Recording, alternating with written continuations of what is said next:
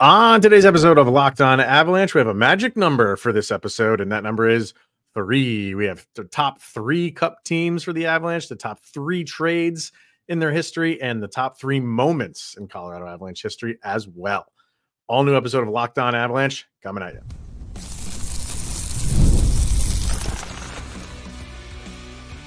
Your Locked On Avalanche, your daily podcast on the Colorado Avalanche, part of the Locked On Podcast Network. Your team every day. All right, everybody, welcome to the Locked On Avalanche podcast, part of the Locked On Podcast Network, your team every day. I'm your host, Chris Maselli. With me, as always, is Mr. Shaggy Von Doom, Kyle Sullivan. Thank you for tuning in, making it your first listen of the day. Always appreciated. Make sure you're tuned into our social media outlets, LOPN underscore Avalanche, on Twitter X, Locked on Avalanche, Instagram, and Threads. Questions, comments, concerns, and opinions, Locked on Avalanche at gmail.com. Make sure you're subscribed to our YouTube channel. Hit subscribe, get notified when a new show goes live. Make sure you subscribe to our subtext as well. Link to that is in the show notes below. And when you do, chat with Kyle and I one on one. We get your opinion, everything Avalanche related, to which we share on this wonderful podcast here covering the Colorado Avalanche. All right. Um, yeah, we're going to be doing uh top three categories or or polls or what no what do we call them top three lists i think Yes. yes. So um we figured you know you got the off season another season's in the books so let's go back and look at the history of the colorado avalanche in terms of the three cups that they won the, the our top three trades that they had made and moments. And now i, I do want to preface this by saying like not with the exception of the, of the cups but with the trades and the moments um, there's a lot to go from. So if we didn't include one, doesn't mean it didn't matter.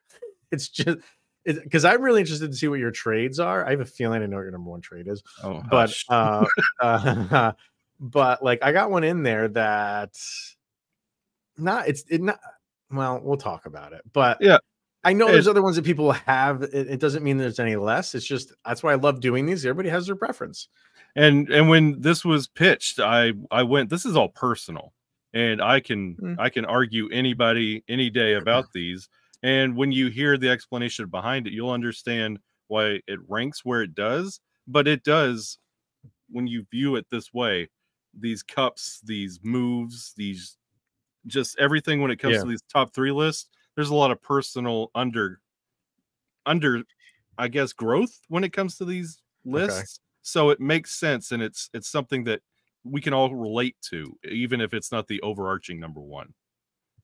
but don't say argue because i don't i don't like that word uh, like we all have an opinion on this and i don't want to argue with someone's opinion on it if they if they feel like there is a trade that's from totally left or a moment you know that that's personal to them. I'm not going to say like you're wrong but yeah, there like- is no wrong answer in yeah there's, there's really not and it's more of discussion than really like argument. So um we figured why not start with the cups? The avalanche have three of them um the uh 96 01 and 22 and i i think this is one where you could again i could i could have the the discussion with somebody of however you have this ranked i'd probably be okay with you can make an argument for either one of these three being your top one and i think some of it might be dependent on when you were born Yeah.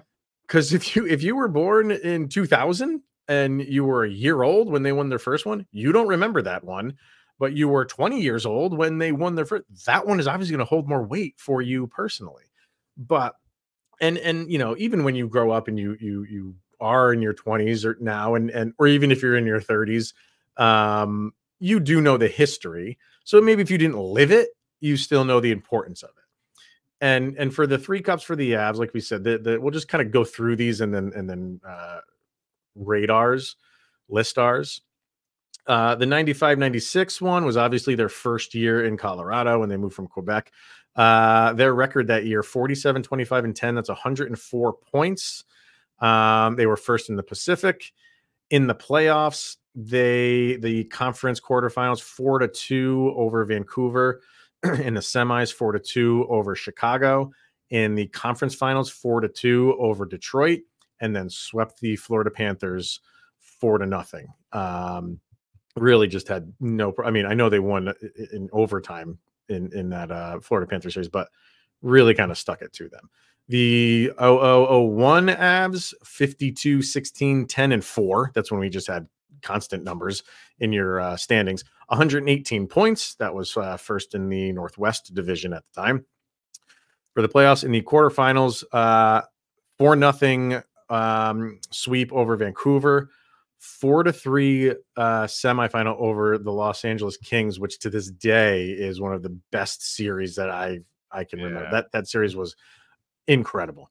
Um, conference finals four to one over the Blues, and then the epic four to three seven game series against the New Jersey Devils when they were down three games to two, and then won the last two to win the whole thing that was epic. And then the most recent one, 21 22, 56 19 and 7, 119 points, which is uh, uh, now a franchise record. First in the Central, um, and then an epic run in the playoffs. And that's where you could say, hey, this kid, this is my number one. Four to nothing against Nashville, four to two against St. Louis, four to nothing against Edmonton, and then obviously four to two over Tampa. So a lot to go on on each of these, but you know, just a broad spectrum view what's your take on these? And see, and that's the wonderful thing about these. You pick each one of these, and it's it's special for a different reason. Like right. the '96 Cup, like it's a proof, especially like if you're much older and you witnessed hockey in the Denver area at this time. It's a proof of concept that one, hockey works here. Two, successful hockey can work here, and three, you could support hockey. Like you've been through the Rockies, you've been through there's a lot of just average to bad hockey that has come through the Denver area, and to have the Quebec Nordiques come into town, rebrand, call Denver home, and make McNichols a place to be, mm. that that means a lot. And to sweep the Florida Panthers when they had all the hype, the rat trick stuff, and to win that, super special moment for Denver. Yeah, I mean, like I said, it's your first year there. I mean, that that usually doesn't. Usually, when a team is moving, it's because they're a bad team, and and you know, and they were not. Um, they just didn't have the finances to, to stay in, in Quebec. So that was part of the, the move, why they had to make the move. And then you go out and win the Stanley Cup. You trade for Patrick Roy, which I'm sure we'll get to a little bit later. Um, so that you know that that that just set a tone yeah. for for the area and this franchise of you know we're here and we got a cup in our pocket on year one and then you go to the the 2000 2001 that team was just loaded loaded and then and then obviously what's always synonymous with that one is the ray bourque mm. move you bring him in he finally gets a cup Sakic hands it to him and that moment is just etched in the minds of hockey fans not even avalanche fans hockey fans and we say it all the time like when the playoffs come around and they're doing promos, that's always a part of the promo, and it will be forever because it, it's it's just one of the epic moments. So you got that, and then obviously with this last one, after a a big break, twenty plus years of not getting one, and that was a well put together team, top to bottom. And you had Nathan MacKinnon finally winning one. Cale Makar, the young guy, just adds already to the list of all the accolades and everything that he has done uh, Erik Johnson getting it. It was kind of like Ray Bourque 2.0 with uh, Landeskog handing him the cup. Just eh, all three. I mean, championships are always special. There's not one that someone wins it like, uh, ho hum, uh, whatever. Um, but all three of these had uh, there, there are things that you can hang your hat on and say, like, this is why that team was so special. And magical moments and you go back and look at each one of these and you're like i don't know if i appreciated this enough in the time even 2022 i don't know if i gave this the appreciation for the moment when you look at the rosters everything they went through to get there. There there is some incredible moments and it that that comes into my rankings as well on mm-hmm. the moments that surround this and each one of these cups which are ever so special each individual one and as we're talking about this, you know, I'm thinking of, and then, and then we'll give our rankings for these. Um, all three of the championships for the Avs, they were they were first in their division, um, or first in the conference. So they've never had to kind of like go through a playoff that they've won where they they have to like battle through it of being like a wild card or something like that. And I'm not saying like that's what I want, but uh, the the three teams that won were just really three like pretty dominant teams. And three So and they- cup appearances too. Exactly. They make the cup and then you pretty much give it to them. So what do you have these ranked as, sir? Between these through, go three to one, and then we'll throw out mine as well. Number three is 96. It's Yep, I I I would agree with you. And again, I don't I don't want to minimize 96. I don't want to say like, oh, it means nothing, throw it away. No, like uh, I, I'm with you. But why why do you have them at, at three? well, three because the gravity of one and two, and three, honestly, that's the year I became an Avalanche fan. Like, Mhm. and it was just hype supreme. Like, you were, this is magical. Like, this team is something else. And they get Roy, like, it, a good team that came to Denver and got better and won the cup in commanding fashion. Like 96, even though it's third, it should, it's way up there in all time moments. Yeah, I think like that if that happened to another franchise moving there, winning it in your first season, um, that would probably be number one on almost anybody's list. I'm not trying to sound like my, like my nose is in the air when saying like that's third for us, but just because the other two, uh, there's just a little bit more gravity to them. I feel um, 96 was just it's like a Disney movie. Yeah. just everything about it was just awesome. Um, where you know, and well, what's your second? Is is what go ahead. 2022. Yeah, so we have the same exact three, two, and one. And honestly, it's it's it's right there because 2022 we got through the dark times. All the hype of 96 and 01, there was a long stretch in between where it was very dark, very bad. People were demanding trades out. Uh, The what you thought was going to be the future left. And then you finally won in 2022. It was a beautiful moment. It I I will never forget that moment and it's it's up there personally as an all-time number 1 but it's number two when it comes to importance for me. Yeah, because y- when you win um, five years apart from each other, um, and then you go 20 years without winning it, um, you do you go through some dark times, Yep. and there definitely were some in those 20 plus years.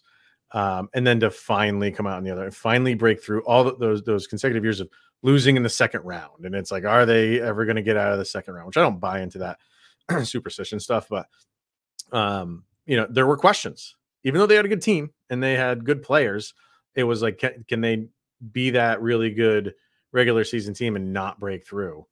And and they finally did. And um, yeah, then you have the Eric Johnson moment, which is you know it's just fantastic. So I'm with you on that, and I, and I think for me it is the the length of time between the two championships, which just made it that much sweeter. Yep. And and number one, obviously, we're in agreement on that. Oh, one, is it just the Ray Bourque thing, or is it just the team was loaded?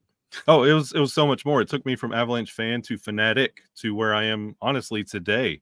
It's not just the Ray Bourque moment, game seven, seven game Stanley Cup. That's pretty awesome. epic. Avs, Devils, Roy, Brodeur. Look at the top two when it comes to goalies.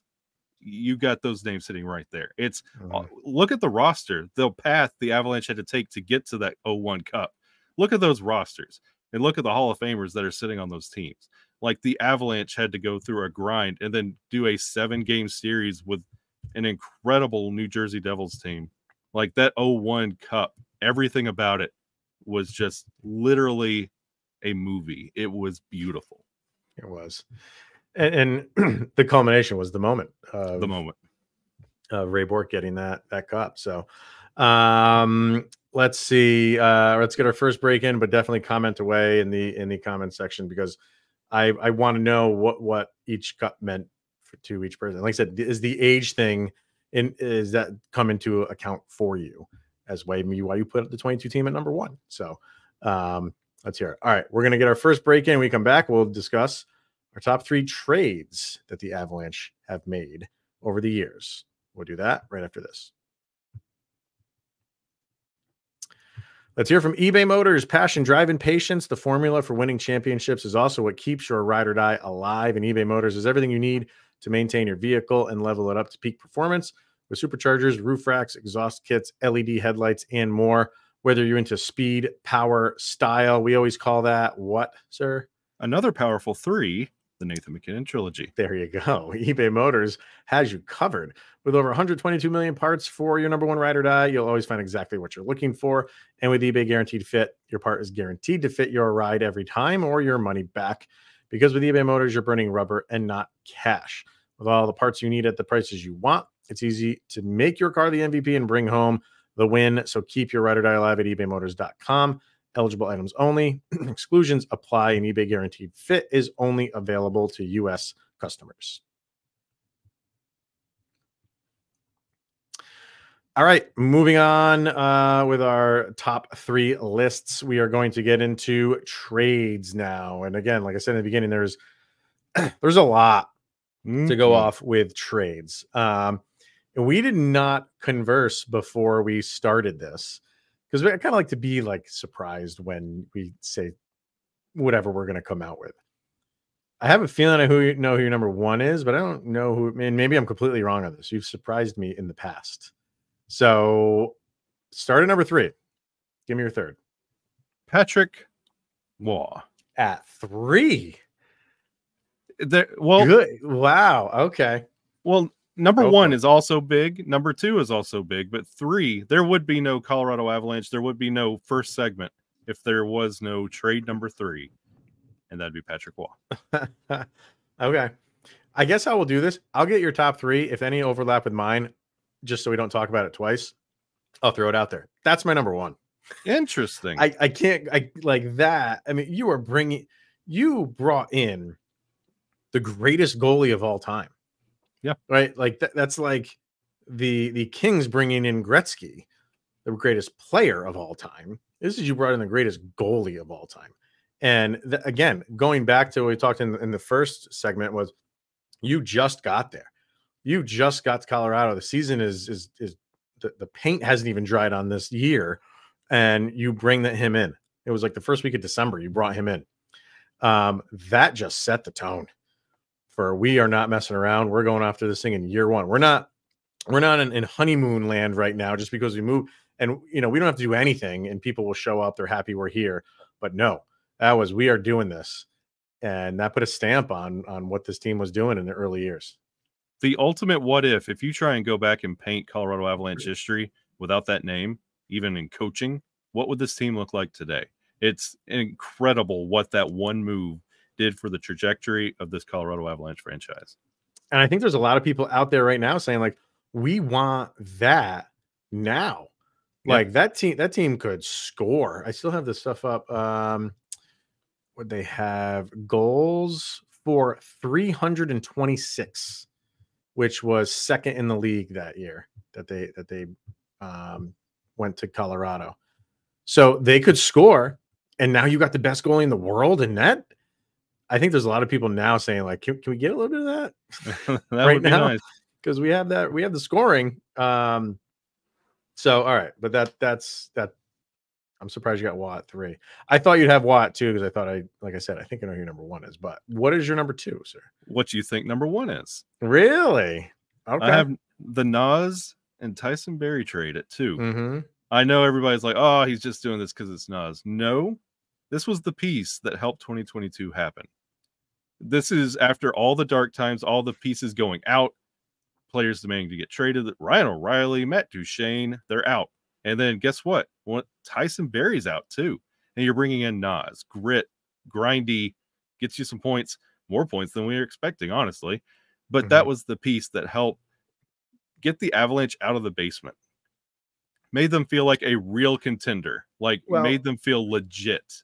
Like the Avs were pu- putting things together, admittedly homegrown. Like everybody that we talk about night in, night out on the show, Nathan MacKinnon, Gabe Landeskog, Mikko Rantanen, Cale Makar, we went out and got those guys. They drafted them. That's homegrown. They, they didn't piece together somebody's project. That's the core of the Avalanche is what they went out and got.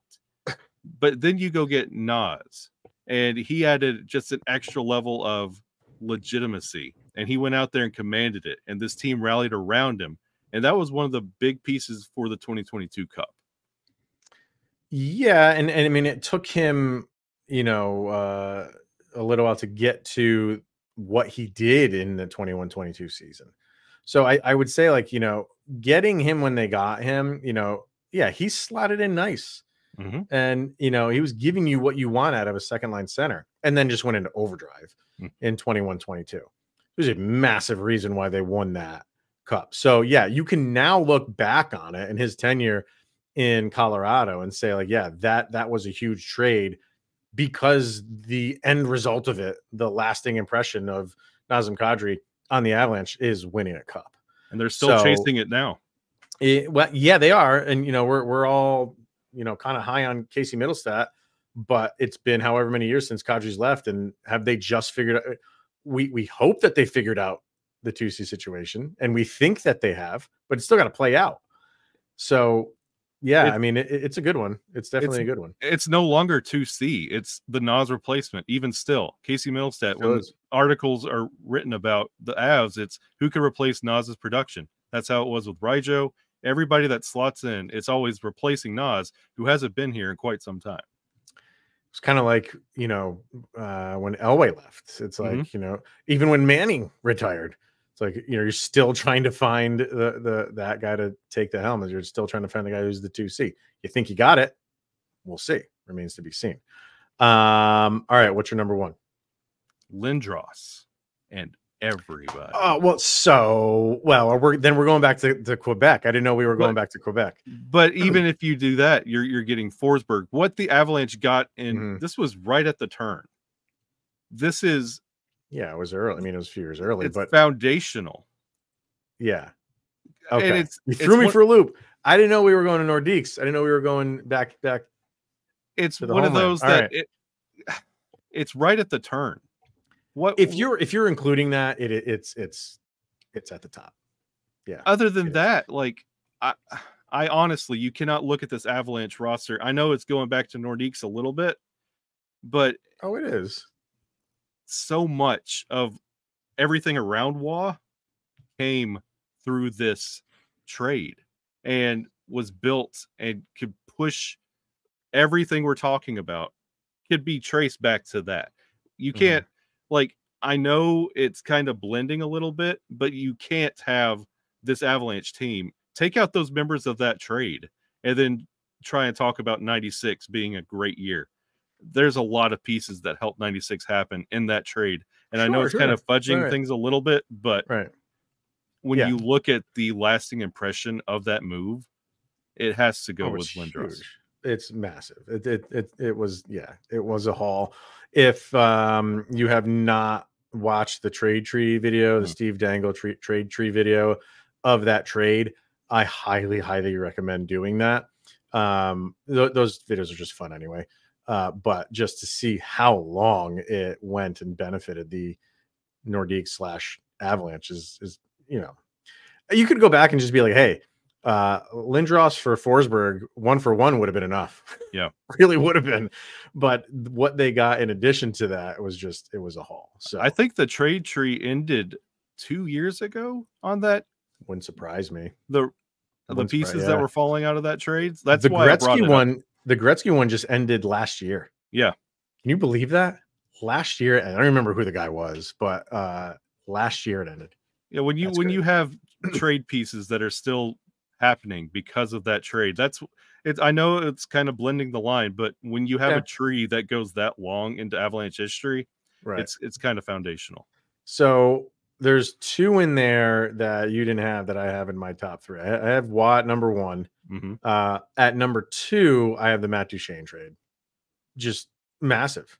Yeah. Huge, huge trade. And um, it was just methodical on how Patrick Roy said, like, okay, like uh, we we hear you. You want to trade out of here. We're not doing so hot.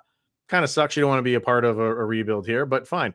But you need to be patient. I'm not just flipping you the first, you know, uh, deal that is thrown my way and it was a long drawn out process and Boy. what they got in return for for him was a a, a king's A cup. ransom really A Stanley Cup. A stanley cup at the end yeah so um that i thought was a huge deal and for my number third number third is that even what what It is now. It is It's now Friday. canon. it's friday yeah uh for the third one for me claude lemieux Ooh, that- that is a good one. you get Claude again. Claude Lemieux Yeah. is someone that just came in here year one, um, and brought your grit. Obviously, you know he he wasn't backing down from anybody. But and I'm not condoning the hit on Kris Draper, but you don't have the the Avs Red Wings likely rivalry if not for Claude Lemieux. Yeah, you're right. So No. and it kind of be, began with getting him, and people kind of say like the the the Avs Red Wings rivalry ended when they really were not released him, got got rid of him, traded Yeah. him, I think back to to New Jersey, um, and that was in between that was a rivalry that is one of the best in sports history. So that's why I'd put Claude Lemieux as the third trade. Yeah, no, no wrong answers in the six. No, you can, you know, you. I'm sure there's people that love the Rob uh, the Rob Blake trade. Yeah, obviously the Bourque trade. Um, oh, Toews. Toews was another one I put down. I think it's a little early for that, but I mean, that was a great trade. Two second round picks for, you know, one of the best defenders in the league. Sure. So jury's still out on the Bowen Byram trade. that might be one we revisit in a few years. You might be able to throw that one into the mix. So, um, all right, let's get our last break in here and we come back. Our top three moments from Avalanche history. What could those be? We'll do that next. All right, let's hear from FanDuel because we love sports and we love them so much that we never want them to stop. The playoffs are all over in the NBA and the NHL. We do have Major League Baseball. We do have the Olympics, but that's just a short amount of time two weeks and they're done. So we get fewer and fewer games. The sports are not sportsing like we want them to, are they, Mr. Sullivan? No, there's there's No. just eh. They can't sports like they do. Uh, but FanDuel lets us keep the sports going whenever we want. And all we have to do is open the app and dream up bets anytime that we're in the mood. And this summer, FanDuel is hooking up all customers with a booster bonus daily. So it's right. You can get something for everyone every day, all summer long. Head over to fanduel.com and start making the most out of your summer with FanDuel. It's the official sports betting partner of Major League Baseball. All right, time for moments, and this is another one. This, the list is long, so um, like like we've been saying this whole episode, no wrong answers here. So, uh, where would you go with this? Where would you start with uh, moments for the Avs? And again, this is personal to me. Yep. Number three, the alumni game between the Avalanche Ooh. and the Detroit Red Wings. oh, really? It's it's literally getting the band back together, all of your heroes one more time. It's Mhm. honestly, it's the first time I had to find it the sh- stream of that game illegally because it was not available. this is back when I was living in Alabama. It was Mhm. hard to find that game. And I sat down with my two young children at the time and I explained how important these people were to me. And it was just a beautiful moment. I don't even care about the outcome or what happened, just seeing my heroes on the ice one more time. it was a, bi- a big deal all around. It was the first outdoor game for the Avs. Um, I remember every single morning, like w- w- I, I just wanted to know what those jerseys were going to look like Yeah. Every day. Like when is it going to be? When is it going to be? And, be- and the game itself, and not the alumni game, the game itself was on my birthday, which they lost, but whatever. But yeah, and then when they announced like that was going to be the, the alumni game, and it was just nice to see like that I mean, we talked about it, just that that rivalry between those two. All those guys are older now, and you know that, that's that's hockey and coming together uh, in that, you know, on that field, at Coors Field. It, it was there. That that was a that was a pretty cool moment. I give you one. I, I Yeah. agree with that. Yep. Keep going. What's your other ones? Now it ranks number 2 Mm-hmm. I, I'm pretty sure it's going to be higher on your list. Game 82. Against the Blues. hmm Um, yeah, that that's on my list. Uh, to this day, I mean, it, again, like sure, that's a big moment, and people can put other ones like uh, above that. But dude, like, uh, every once in a while, I'll go back and just watch that clip on YouTube. I, w- I do the exact same thing. just the the celebration, everything. The year before the the to that point, the, the worst record in history. Um, and then the very next year, you know, Patrick Roy leaves. Um, you know, and and then you get uh Jared Bednar, and you know, you you do that, you have a turnaround like that. Um, and it was all or nothing. Whoever won that game was going to the playoffs. And it was on home ice. And when Landeskog flung that open net and just Mikko Rantanen just jumping on top of the pile, it was it was phenomenal. There was nothing, very few things better than that. And I go back and I I, I tear up every time now hearing Maxi on the call too. Oh, so good. Everything everything about that was awesome. Yeah, I, it's it's a wonderful wonderful moment. What else you got? What's your last one? My number one all time, Mm-hmm. even though it doesn't rank number one in cups, Mm-hmm. the 2022 Cup, because I got to witness that with my children. We had our own Stanley Cup parade. Um, and it was honestly, again, dark times. Like you didn't know if the Avalanche would ever get back to that. You're you didn't want to be that always pointing back to 96 and 01 for the rest of your life. Mhm.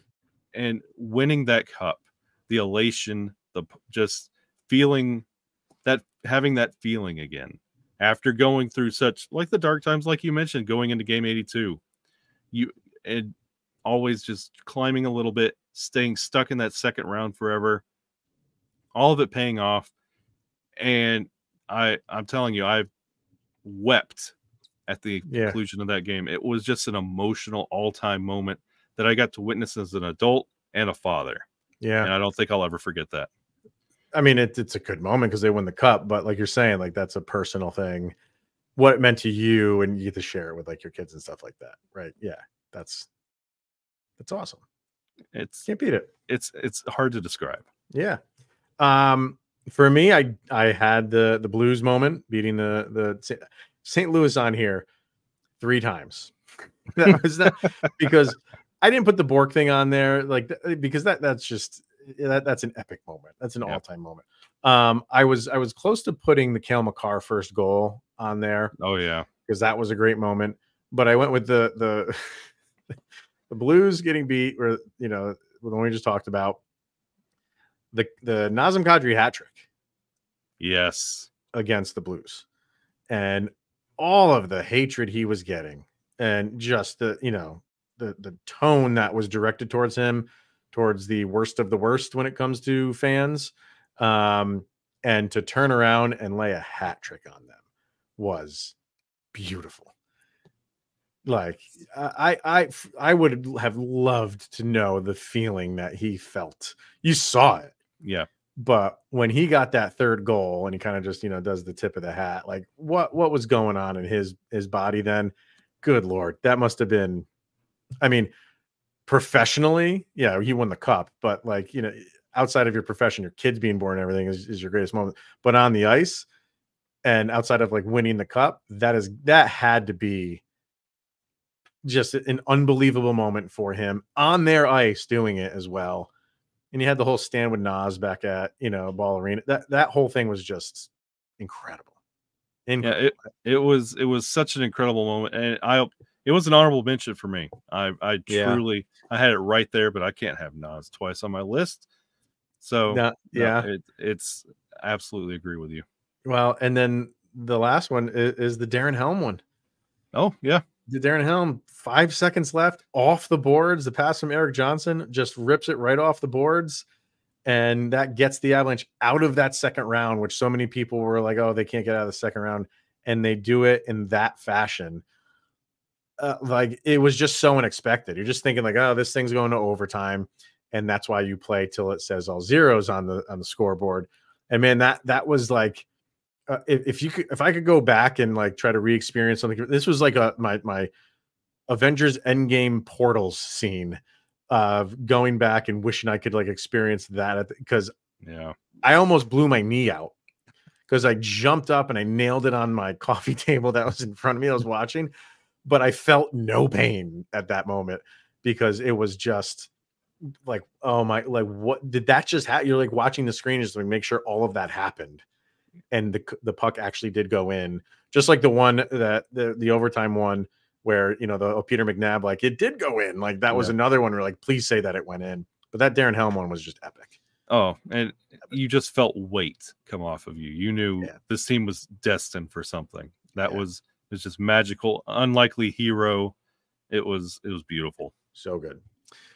So uh, let's uh, see the comments section because I, I love seeing moments because I and like you said, like I know the 22 moment was a big moment, but like because you sh- shared it with your kids, like I like hearing stuff like that. There could be just like this menial moment in Avalanche history that just meant something to somebody because they got to share it with a parent or something like that. So if anybody's got those stories, definitely throw them out in the comments because I love hearing stuff like that.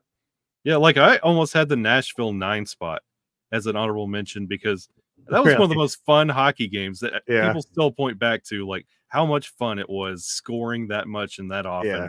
And you were like, "Oh, we're getting to ten. We still point at that game many times.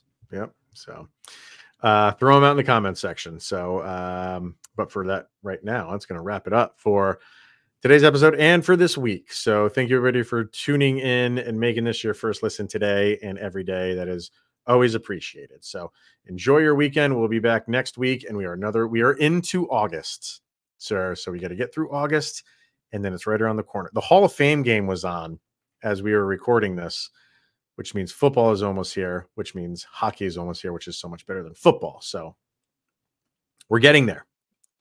We're getting The there. August rush. Yeah. All right, everyone. Uh, he is Mr. Shaggy Von Doom, Kyle Sullivan. I am Chris Maselli. This is the Locked On Avalanche podcast. Have a good weekend, and we'll see you next week.